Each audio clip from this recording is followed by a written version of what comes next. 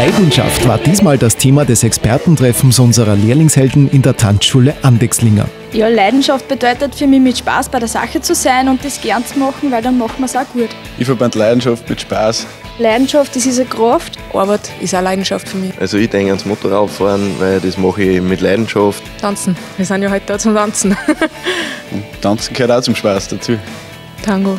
Wald zu tanzen. Ja, ich hoffe auch natürlich, dass wir ein paar Tanzschritte machen. Ich finde das lustig, wenn man ein wenig tanzen tut. Und ja, lassen wir den Rest mal zukommen. Ah, ich glaube, es wird sehr spannend. Ja, ich will ja noch nicht zu viel vorgreifen, aber wir werden auf jeden Fall uns aufs Tanzparkett stürzen. Wir werden vorher so ein bisschen intellektuell das Thema angehen. Also was bedeutet das? Wo kann man in der eigenen äh, Sparte das ein bisschen leben und einbringen? Aber dann geht es auf jeden Fall ratzfatz aufs Parkett und dann wird schon getanzt bei uns heute.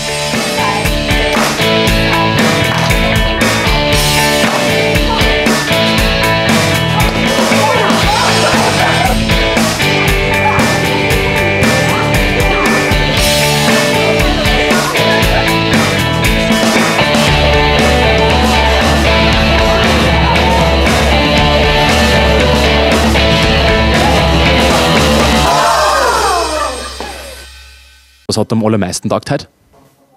Die Leidenschaft. Ja, Leidenschaft bedeutet immer, dass man mit Freude dabei ist und dass man was gern macht. Und auch, dass man es in der Stimme und am Körper einmal erkennt, wie man aufgelegt ist. Und dann reißt man andere Leute mit.